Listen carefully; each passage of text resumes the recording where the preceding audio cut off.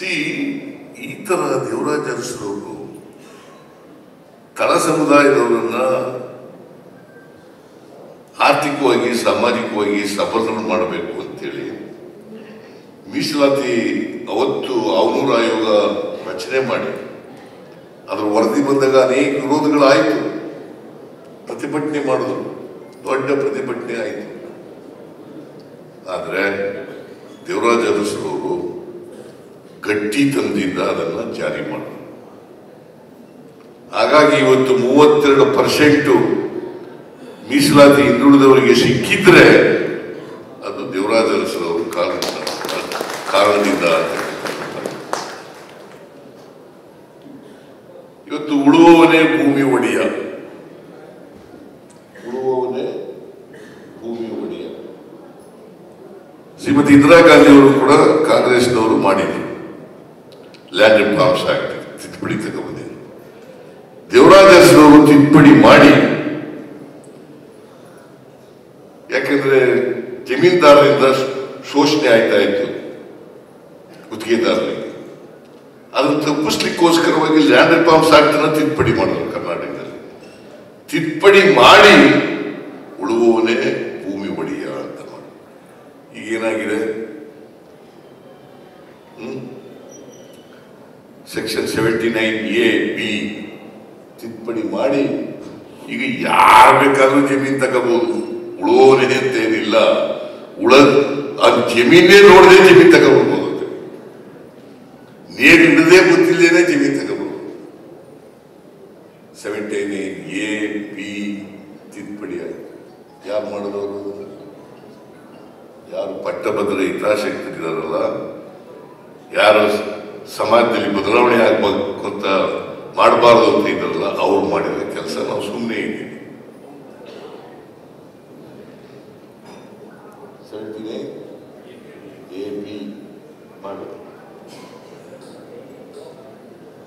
ನಾವು ಇದನ್ನೆಲ್ಲ ಗಂಭೀರವಾಗಿ ಚರ್ಚೆ ಮಾಡಬೇಕಾಗ್ತದೆ. ನಾನು ಸ್ವಲ್ಪ ಅಪ್ಪರ್ ಹೌಸ್ನಲ್ಲಿ ಮೆಜಾರಿಟಿ ಬರಲಿ ಅಂತ ಕಾಯ್ತಾ ಇದ್ದೀನಿ ಮೇಲೆ ಡೆಫಿನೆಟ್ ಆಗಿ ಈ ಸೆವೆಂಟೀನ್ ಎ ಬಿ ಏನು ತಿದ್ದುಪಡಿ ಮಾಡಿದ್ದಾರೆ ಅದನ್ನು ಮತ್ತೆ ರೆಸ್ಟೋರ್ ಮಾಡ್ತಕ್ಕಂಥ ಕೆಲಸ. ನಾವು ಅಲ್ಲಿಂದ ಸುಮ್ಮನೆ ನೀವು ಇದೆಲ್ಲ ಇದನ್ನೆಲ್ಲ ಡಿಮ್ಯಾಂಡ್ ಮಾಡಬೇಕು ನಾವು. ಉತ್ತರ ಆಗಬೇಕು ಸರ್ಕಾರದ ಮೇಲೆ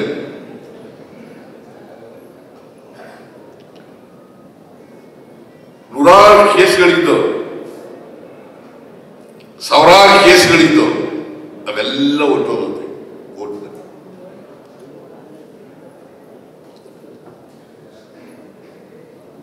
ನೋಡಿ ದೇವರಾಜ ಅರಸನವರು ಅವತ್ತು ಉಳುವವನೇ ಭೂಮಿ ಒಡೆಯ ಅವ್ರು ಮಾತ್ರ ಒಡೆ ಭೂಮಿ ಒಡೆಯರಾಗಬೇಕು ಯಾರು ಉಳ್ತಾರೆ ಅವ್ರು ಮಾತ್ರ ಈಗ ಉಳಿದೇದವರು ಒಡೆಯರಾಗ್ಬೋದಲ್ಲ ಸಹಿಸ್ಕೊಂಡಿದೀವಲ್ಲ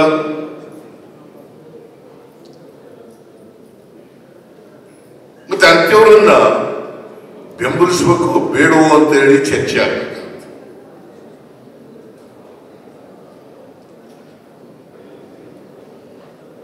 ನಾನು ಮುಖ್ಯಮಂತ್ರಿ ಆದಮೇಲೆ ಅನೇಕ ಕಾರ್ಯಕ್ರಮಗಳನ್ನು ಜಾರಿಗೆ ತಗೊಂಡು ಎಲ್ಲ ಬಡವರಿಗೋಸ್ಕರ, ಮಹಿಳೆಯರಿಗೋಸ್ಕರ ಇದನ್ನೆಲ್ಲ ಯಾರು ವಿರೋಧ ಮಾಡೋರು? ಯಾರು ಬದಲಾವಣೆ ಬಯಸಲ್ವೋ ಅವರು ವಿರೋಧ ಮಾಡೋರು? ದೇವರಾಜ ಸರ್ಕಾರದಲ್ಲೂ ಇತ್ತು, ಆಮೇಲೂ ಇತ್ತು, ಈಗಲೂ ಇದೆ, ಸ್ವಾತಂತ್ರ್ಯ ಬಂದಾಗಲೂ ಇತ್ತು, ಇವತ್ತು ಕೂಡ ಇದೆ. ಐದು ಗ್ಯಾರಂಟಿ ಯೋಜನೆಗಳನ್ನು ಯಾರಿಗೋಸ್ಕರ ಮಾಡಿರೋದು ಹ? ಬಡವರಿಗೋಸ್ಕರ ಅಲ್ಲ ಮಹಿಳೆಯರಿಗೋಸ್ಕರ ಅಲ್ಲ ರೈತರಿಗೋಸ್ಕರ ಅಲ್ಲ ಯುವಕರಿಗೋಸ್ಕರ ಅಲ್ಲ ಅದನ್ನು ಮಾಡಬೇಡಿ ಅಂತ ಹೇಳೋರು ಯಾರು? ನಮ್ಮ ಜನ ಹೆಂಗಿದೆ ಹಕ್ಕು ಚಪ್ಪಾಳೆ ಹೊಡಿತಾರೆ. ಮಾಡಿ ಅಂತಂದ್ರು ಚಪ್ಪಳೆ ಹೊಡಿತಾರೆ. ಬಂದಿರೋದು ತಾಪತ್ರೆ ಬಡವರ ಕಾರ್ಯಕ್ರಮಗಳು ಮಾಡೋರ್ಗೂ ಚಪ್ಪಾಳೆ ಹೊಡಿತಾರೆ. ಬಡವರು ವಿರೋಧಿಗಳಿಗೂ ಚಪ್ಪಳೆ ಹೊಡಿತಾರೆ. ದೇವರಾಜ ಕಾಲದಲ್ಲಿ ಇದೆಯಾ ಅದಂತ ಈಗಲೂ ಇದೆಯಾ? ನಡೀತಾ ಇದೆ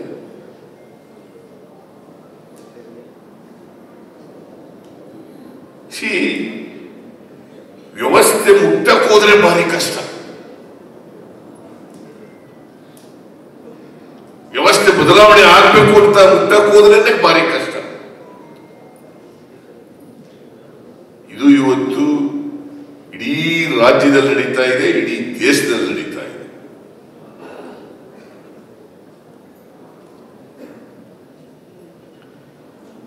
ದೇವರಾಜರವರು ಬದುಕಿರೋರು ಕೂಡ ಅಧಿಕಾರದಲ್ಲಿರೋವರೆಗೂ ಕೂಡ ಈ ವರ್ಗದ ಪರವಾಗಿ ಇವರಿಗೆ ನ್ಯಾಯ ಸಿಗಬೇಕು ಅಂತೇಳಿ ಹೋರಾಟವನ್ನು ಮಾಡಿದ್ರು.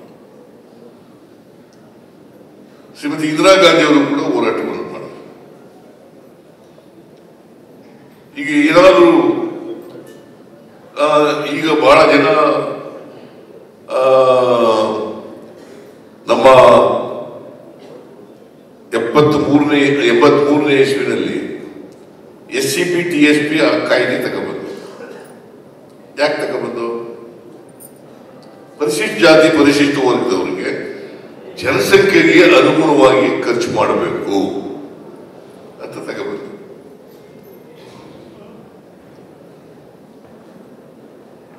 ಅದನ್ನ ಯಾರು ಮಾಡಲಿಕ್ಕೆ ಇವತ್ತಿನವರಿಗೆ ಸಾಧ್ಯ ಇಲ್ವೋ ಅವರು ನಮ್ಮನ್ನು ಟೀಕೆ ಮಾಡೋದು ನೀವು ಸುಮ್ಮನೆ ಕೂತಿರ್ತೀರಿ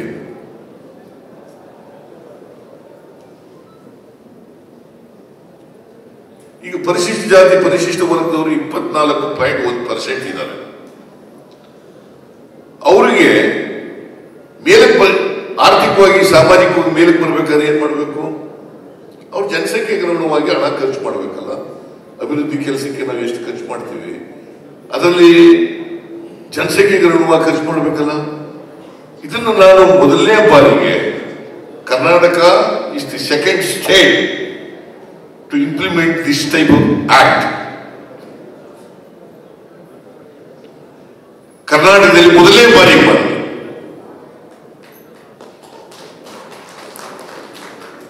ಅದನ್ನ ಬಿಜೆಪಿಯಲ್ಲಿ ಇರ್ತಕ್ಕಂಥ ದಲಿತರೆ ದಲಿತರೆ ವಿರೋಧ ಮಾಡೋದು ಸಿದ್ದರಾಮಯ್ಯನವರು ಆ ದುಡ್ಡನ್ನ ಬೇರೆ ಬಾಬು ಖರ್ಚು ಮಾಡಿಬಿಟ್ರು.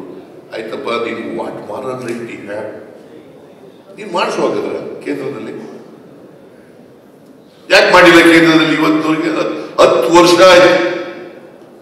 ಈ ವರ್ಷ ಎಷ್ಟು ಗೊತ್ತಾ? ಬಜೆಟ್ ಕೇಂದ್ರದ್ದು ನಲವತ್ತೆಂಟು ಲಕ್ಷ ಕೋಟಿ. ಪರಿಶಿಷ್ಟ ಜಾತಿ, ಪರಿಶಿಷ್ಟ ವರ್ಗದವ್ರಿಗೆ ಖರ್ಚು ಮಾಡ್ತಕ್ಕಂಥ ಹಣ ಏನು ಗೊತ್ತಾ? ಬರೀ ಅರವತ್ತೈದು ಸಾವಿರ ಕೋಟಿ. ಇಪ್ಪತ್ನಾಲ್ಕು ಪಾಯಿಂಟ್ ಒಂದು ಪರ್ಸೆಂಟ್ ಅಂದ್ರೆ ಎಷ್ಟಾಯ್ತು? ಇಲ್ಲ, ಅರವತ್ತೈದು ಸಾವಿರ. ಯಾಕೆ ಮಾಡಲ್ಲ? ಯಾಕೆ ಕೇಳಲ್ಲ ನೀವು? ಬಿಜೆಪಿ ಹೇಳಿ ಬಿಜೆಪಿ ಇರ್ತಕ್ಕಂಥ ದಲಿತರಿಗೆ ಯಾಕೆ ಕೇಳಲ್ಲ. ಅದ್ರ ಬದಲು ನಮ್ಮನ್ನ ಟೀಕೆ ಮಾಡೋದು what moral right they have they don't have any moral right at all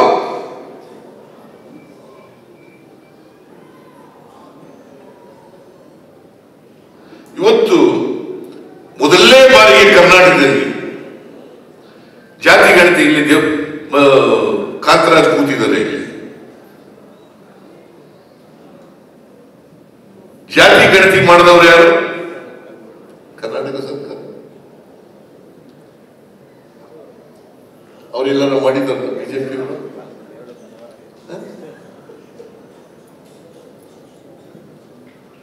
ಜಾತಿ ಗಣತಿ ಮಾಡದೇನೆ ಆರ್ಥಿಕವಾಗಿ, ಸಾಮಾಜಿಕವಾಗಿ ಅವರ ಸ್ಥಿತಿಗತಿಗಳು ಗೊತ್ತಾಗದಕ್ಕೆ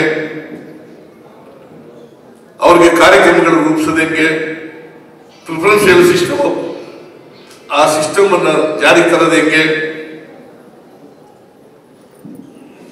ಸಾಮಾಜಿಕ ನ್ಯಾಯ ತರ್ತಕ್ಕಂಥ ಹೆಂಗೆ ಇದ್ರ ಬಗ್ಗೆ ಚರ್ಚೆ ಆಗ್ಬೇಕ ಬೇಡ ನಾನು ಇವೆಲ್ಲನೂ ಮಾಡ್ತಾ ಇದ್ದೀನಿ ಅಂತ ಹೇಳಿ ಅವ್ರಿಗೆ ಕೋಪ. ಅದಕ್ಕೆ ಸಿದ್ದು ಸಿದ್ದರಾಮಯ್ಯ ಹೆಂಗಾರ ಮಾಡಿ ರಾಜಕೀಯವಾಗಿ ಮುಗಿಸ್ಬಿಡಬೇಕು ಅಂತ ಹುನ್ನಾರ ಮಾಡ್ತಾ ಇದ್ದೆ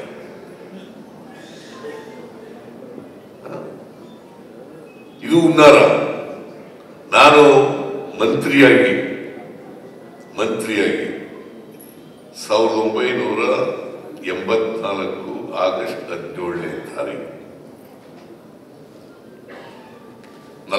ವರ್ಷಗಳಾಯ್ತು ನನ್ನ ಮೇಲೆ ಒಂದು ಕಪ್ಪು ಚುಕ್ಕಿ ಇಲ್ಲ, ಕಳಂಕ ಇಲ್ಲ.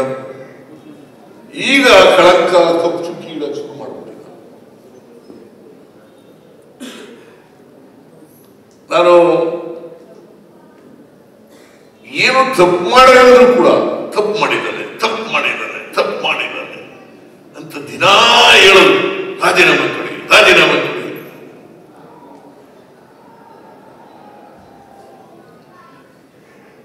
ಅದಕ್ಕೊಂದಷ್ಟು ಜನ ಚಮಕೆ ಹೊಡೆಯೋರು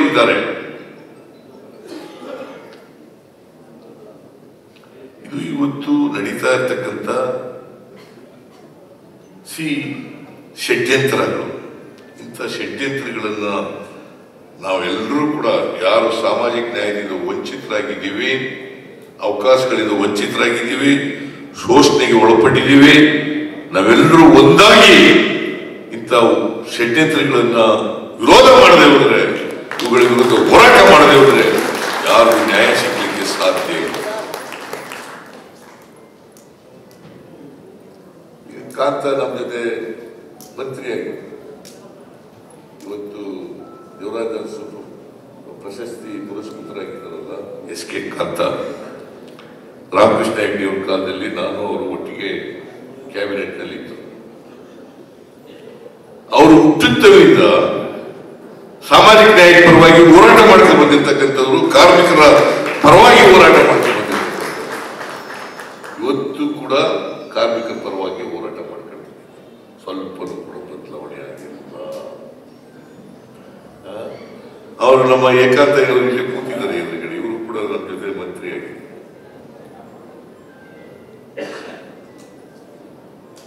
ಇವರೆಲ್ಲರೂ ಕೂಡ ಪ್ರಾಮಾಣಿಕವಾಗಿ ರಾಜಕಾರಣ ಮಾಡದಂಥವ್ರು.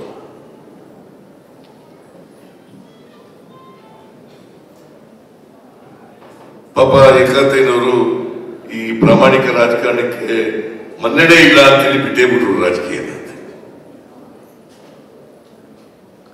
ಇವತ್ತು ಕಾಂತ ಅವರು. ನಂಬಿದ್ದಂತ ಸಿದ್ಧಾಂತ ಏನಿದೆಯಲ್ಲ, ಆ ಸಿದ್ಧಾಂತದಲ್ಲಿ ರಾಜಿ ಆಗಿಲ್ಲ, ರಾಜಿ ಆಗದು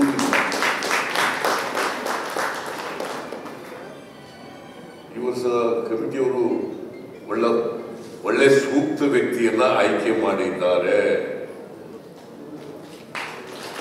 ಯುವರಾಜ್ ಪ್ರಶಸ್ತಿಗೆ ಸೂಕ್ತ ವ್ಯಕ್ತಿಯನ್ನ ಆಯ್ಕೆ ಮಾಡಿದ್ದಾರೆ.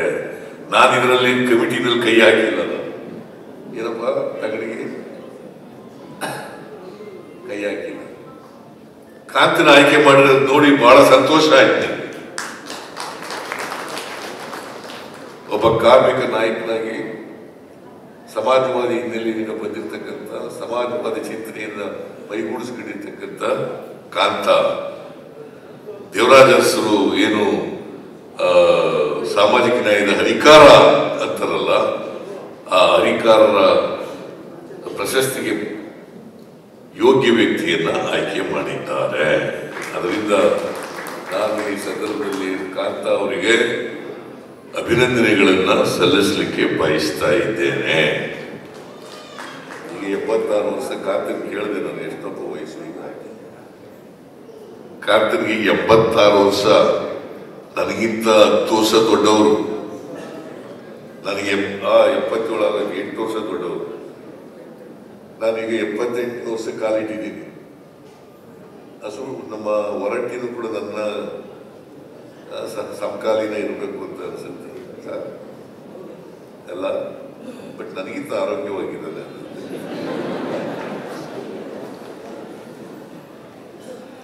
ನಾವೆಲ್ಲ ಒಳ್ಳೆ ಸ್ನೇಹಿತರು. ಕಾಂತನೂ ಒಳ್ಳೆ ಸ್ನೇಹಿತ ಏಕಾಂತನವರು ಒಳ್ಳೆ ಸ್ನೇಹಿತ. ನಮಗಿಂತ ಕಾಂತ್ ಸೀನಿಯರ್ ಸೀನಿಯರ್ ಇವರು. ಬಟ್ ಕಾಂತನು ಕೂಡ ವಯಸ್ಸಿನಲ್ಲಿ ನನಗಿಂತ ದೊಡ್ಡವನಾದರೂ ಕೂಡ ಒಳ್ಳೆ ಸ್ನೇಹಿತ ಸೊ ಕಾಂತ ಅವ್ರನ್ನ ಮಾಡಿರ್ತಕ್ಕಂಥದ್ದು ಬಹಳ ಯೋಗ್ಯ ಮತ್ತು ಸಮಂಜಸವಾಗಿದೆ. ಮತ್ತೆ ಅವರು ಆ, ಪ್ರಶಸ್ತಿಗೆ ಐದು ಲಕ್ಷ ಕೊಡ್ತೀವಲ್ಲ ಅದನ್ನ ಕಾರ್ಮಿಕರ ಕಲ್ಯಾಣ ನಿಧಿಗೆ ಕೊಟ್ಬಿಡಿ ಅಂತ ಹೇಳ್ಬೇಕು ನೋಡಿ ನೂರಕ್ಕೆ ನೂರು ಆನೆಷ್ಟು ಕಾಂತ ನೂರಕ್ಕೆ ನೂರು ಆನೆಸ್ಟ್ ಅದರಿಂದ ಅಂತ್ಯವ್ರನ್ನ ಆಯ್ಕೆ ಮಾಡಿರ್ತಕ್ಕಂಥದ್ದು ಬಹಳ ಸಮಂಜಸವಾಗಿದೆ ಅಂತ ಈ ಸಂದರ್ಭದಲ್ಲಿ ಹೇಳ್ತಾ ದೇವರಾಜ ಅರಸನವರ ಜಯಂತಿ ದಿನನೇ ರಾಜೀವ್ ಗಾಂಧಿ ಅವರ ಜಯಂತಿ ಹುಟ್ಟಿದ ಬಂದು ಕೂಡ ಇವತ್ತೇ ರಾಜ ಕಾ- ಕಾಕ್ತಾಳಿ ಆಯ್ತು. ದೇವರಾಜ ಅರಸನವರ ಹುಟ್ಟಿದ ದಿನ ರಾಜೀವ್ ಗಾಂಧಿ ಮಾಜಿ ಪ್ರಧಾನಿಯಾಗಿದ್ದರಲ್ಲ, ಅವರ ಹುಟ್ಟಿದ ದಿನ ಇವರು ಇರುವರ ಆತ್ಮಕ್ಕೆ ಶಾಂತಿ ಸಿಗಲಿ ಅಂತೇಳಿ ಇವರು ಮಾಡಿದಂಥ ಕೆಲಸಗಳಿದ್ದಾವಲ್ಲ ಇವು ನಮಗೆಲ್ರಿಗೂ ಕೂಡ ಸ್ಫೂರ್ತಿ. ಇವರದರ್ಸು ಕಾಕ್ತಾರೆ ನಮ್ಮ ಜಿಲ್ಲೆಯವರು. ನಾನು ಅದೇ ಜಿಲ್ಲೆಯಿಂದ ಬಂದಿರೋರು ಮೈಸೂರು ಜಿಲ್ಲೆಯಿಂದ ಬಂದಿರೋರು ಅದು ರಾಜಕೀಯವಾಗಿ ನನಗಿಂತ ಬಹಳ ಮುಂಚಿತವಾಗಿ ಬಂದಂಥವರು. ನಲವತ್ತೆರಡನೇ ಇಸ್ವಿಯಿಂದ ರಾಜಕಾರಣ ಮಾಡ್ಕೊಂಡು ಬರ್ತಾ ಇದ್ದಾರೆ. ಸೊ ಅವರ ಇಡೀ ಜೀವನದುದ್ದಕ್ಕೂ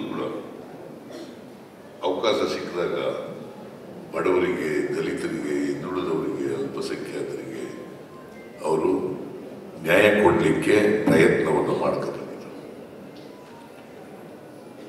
ನಾನು ಕೂಡ ಅದೇ ಹಾದಿನಲ್ಲಿ ನಡೆಯತಕ್ಕಂಥ ಪ್ರಯತ್ನವನ್ನು ಮಾಡ್ತಾ ಇದ್ದೇನೆ ಯಾವುದೇ ಕಾರಣಕ್ಕೆ ಸಾಮಾಜಿಕ ನ್ಯಾಯ ಅಧಿಕಾರ ಇರಲಿ, ಅಧಿಕಾರ ಇಲ್ಲಿ ಹೋಗ್ಲಿ, ಯಾವತ್ತೂ ಕೂಡ ರಾಜಿ ಆಗಲ್ಲ ಸಾಮಾಜಿಕ ನ್ಯಾಯದಲ್ಲಿ ನಾವು ನಂಬಿರ್ತಕ್ಕಂಥ ಸಿದ್ಧಾಂತದಲ್ಲಿ ರಾಜಿಯಾಗಲಿ ಕಾಂತ ರಾಜ್ಯ ಆಗ್ತಾರ ಅವ್ರು ಮಾಡ್ಬೋದಾಗಿತ್ತಲ್ಲ, ಬೇರೆ ಪಕ್ಷಕ್ಕೆಲ್ಲ ಹೋಗ್ಬೋದಾಗಿತ್ತಲ್ಲ? ಹೋಗ್ಲಿಲ್ಲ.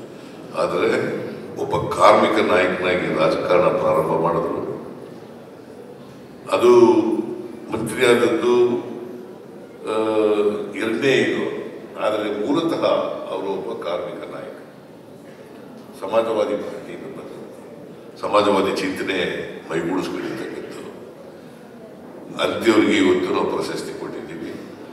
ಅದು ದೇವರಾಜರಸರ ಆತ್ಮಕ್ಕೂ ಕೂಡ ಶಾಂತಿ ಸಿಗ್ತದೆ ಅಂತಕ್ಕಂಥ ಮಾತುಗಳನ್ನು ಹೇಳಿ.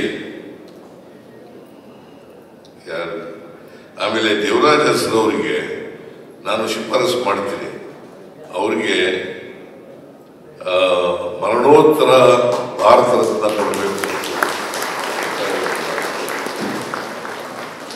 ನಾನು ಕಳೆದ ಸಾರಿ ಈ ಎಂಥದ್ದು ಎಲೆಕ್ಟ್ರಾನಿಕ್ ಸಿಟಿ ಎಲೆಕ್ಟ್ರಾನಿಕ್ ಸಿಟಿ ಅದನ್ನು ದೇವರಾಜ ಎಲೆಕ್ಟ್ರಾನಿಕ್ ಸಿಟಿ ಇಡಬೇಕು ಅಂತ ಹೇಳಿದ್ದೆ. ಆ ಕೆಲಸ ಈಗ ಸಡನ್ ಪ್ರಾಸೆಸ್ ಅದನ್ನು ದೇವರಾಜ ಎಲೆಕ್ಟ್ರಾನಿಕ್ ಸಿಟಿ ಅಂತೇಳಿ ನಾಮಕರಣ ಮಾಡ್ತೀವಿ. ದೇವರಾಜ ಅವರು ಬಹಳ ಮುಖ್ಯವಾಗಿ ಮಾಡಿದಂಥ ಕೆಲಸ ಏನಪ್ಪಾ ಅಂತಂದ್ರೆ ಕರ್ನಾಟಕ ಏಕೀಕರಣ ನವೆಂಬರ್ ಒಂದು, ಸಾವಿರದ ಒಂಬೈನೂರ ಐವತ್ತಾರನೇ ಇಸ್ವಿನಲ್ಲಾಯಿತು ಅಲ್ಲಿವರೆಗೆ ಮೈಸೂರು ರಾಜ್ಯ ಅಂತ ಕರೀತಾ ಇದ್ರು ಕರ್ನಾಟಕ. ಆದರೆ ಏಕೀಕರಣ ಸಾವಿರದ ಒಂಬೈನೂರ ಐವತ್ತಾರು ನವೆಂಬರ್ ಒಂದನೇ ತಾರೀಕು ಆದರೂ ಕೂಡ ಕರ್ನಾಟಕ ಅಂತ ಆಗಿರಲಿಲ್ಲ ಮೈಸೂರು ರಾಜ್ಯ ಅಂತಲೇ ಇತ್ತು. ಕರ್ನಾಟಕ ಅಂತೇಳಿ ನಾಮಕರಣ ಮಾಡಿದವರು ದೇವರಾಜ ಅರಸನವರು ಸಾವಿರದ ಒಂಬೈನೂರ ಎಪ್ಪತ್ಮೂರನೇ ಇಸ್ವಿನಲ್ಲಿ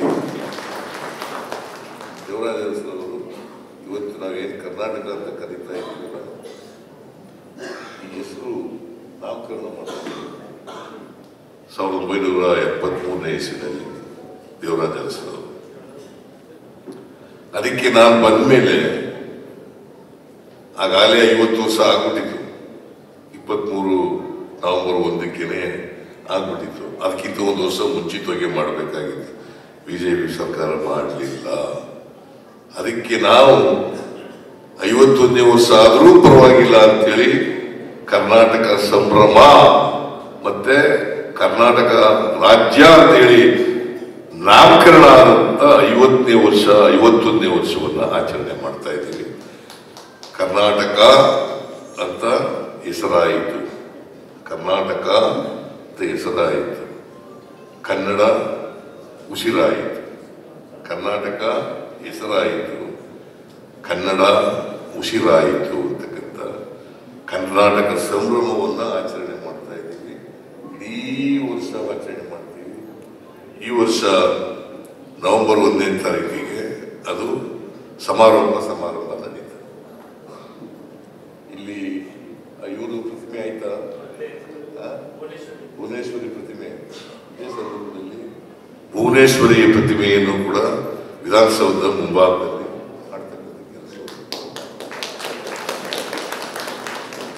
ಸೊ ನವೆಂಬರ್ ಒಂದನೇ ತಾರೀಕು ಅದು ಉದ್ಘಾಟನೆ ಆಗಬೇಕು ತಗಡಿಗೆ. ಸ್ವಲ್ಪ ಆ ಕಡೆ ಕಾನ್ಸಂಟ್ರೇಟ್ ಮಾಡಿ ಅದು ಉದ್ಘಾಟನೆ ಮಾಡ್ತಕ್ಕಂಥ ಕೆಲಸವನ್ನು ಮಾಡಬೇಕು. ಈ ಕರ್ನಾಟಕ ಅಂತ ನಾಮಕರಣ ಆದವರು ಪ್ರಯುಕ್ತ ಭುವನೇಶ್ವರಿ ಪ್ರತಿಮೆಯನ್ನು ಅಲ್ಲಿ ಅನಾವರಣ ಹೀಗೆ ಕರ್ನಾಟಕದಲ್ಲಿ ಕಾಂಗ್ರೆಸ್ ಸರ್ಕಾರ ಎಲ್ಲ ಇತಿಹಾಸವನ್ನ ಹೇಳ್ತಕ್ಕಂಥ ಯಾಕಂದ್ರೆ ಮಾ, ಅಂಬೇಡ್ಕರ್ ಅವರು ಹೇಳಿದ್ರು, ಯಾರಿಗೆ ಇತಿಹಾಸ ಮರೆತು ಬಿಡ್ತಾರೆ ಅವ್ರು ಯಾರು ಕೂಡ ಭವಿಷ್ಯ ಯಾರಿಗೆ ಇತಿಹಾಸ ಗೊತ್ತಿರ್ತದೆ ತಿಳ್ಕೊತಾರೆ ಅವ್ರು ಮಾತ್ರ ಭವಿಷ್ಯ ನಿರ್ಮಾಣ ಮಾಡಲಿಕ್ಕೆ ಸಾಧ್ಯ. ದೇವರಾಜ ಅರಸನವರಿಗೆ ಯಾಕಂತಂದ್ರೆ ಸಾಹಿತ್ಯದ ಬಗ್ಗೆ ಬಹಳ ನಂಟಿತ್ತು ಅವರು ಸ್ವತಃ ಸಾಹಿತ್ಯ ಆಗಿದ್ರು ಕೂಡ ಸಾಹಿತಿಗಳು ಒಡನಾಟ ಇದೆ ಸಾಹಿತ್ಯದ ಬಗ್ಗೆ ಅಭಿರುಚಿ ಇತ್ತು. ಅದಕ್ಕೋಸ್ಕರ ಕನ್ನಡ ದೇವಿ ಅವಳ ಪ್ರತಿಭೆಯನ್ನ ಅನಾವರಣ ಮಾಡ್ತಕ್ಕಂಥ ಪ್ರಯತ್ನವನ್ನು ಕೂಡ ಸರ್ಕಾರ ಮಾಡ್ತಾ ಇದೆ ಅಂತಕ್ಕಂಥ ಮಾತುಗಳನ್ನ ಈ ಸಂದರ್ಭದಲ್ಲಿ ಹೇಳಿ ಮತ್ತೊಮ್ಮೆ ಕಾಂತ ಅವರಿಗೆ ಅಭಿನಂದನೆಗಳನ್ನು ಸಲ್ಲಿಸಿ.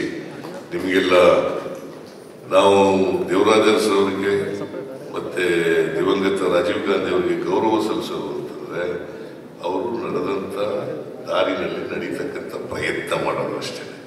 ನಾವು ಮತ್ತೆ ದೇವರಾಜ ಅರಸಾಗಕ್ಕಾಗಲ್ಲ ಬಹಳ ಜನ ಹೇಳ್ತಾರೆ ದೇವರಾಜರ್ಸ್ ನಂತರ ಸಿದ್ದರಾಮಯ್ಯ ಎರಡನೇ ದೇವರಾಜ. ಸಾಧ್ಯನೇ ಇಲ್ಲ. ದೇವರಾಜ ದೇವರಾಜರ್ಸು ದೇವರಾಜ ಅರಸು ಸಿದ್ದರಾಮಯ್ಯ ಸಿದ್ದರಾಮಯ್ಯ ಆ, ಅದರಿಂದ ಇಷ್ಟು ವಿಚಾರಗಳನ್ನ ಹೇಳಿ ನಿಮಗೆಲ್ಲ ನಮಸ್ಕಾರ ಮಾಡಿ ನಾನು ಮಾತು ಮುಗಿಸ್ತೇನೆ. ಜೈ ಹಿಂದ್ ಜೈ ಕರ್ನಾಟಕ. ಹೆಚ್ಚಿನ ವಿಡಿಯೋಗಳಿಗೆ ಪ್ರತಿಧ್ವನಿ ಯೂಟ್ಯೂಬ್ ಚಾನೆಲ್ ಸಬ್ಸ್ಕ್ರೈಬ್ ಮಾಡಿ, ಬೆಲ್ ಐಕಾನ್ ಕ್ಲಿಕ್ ಮಾಡಿ.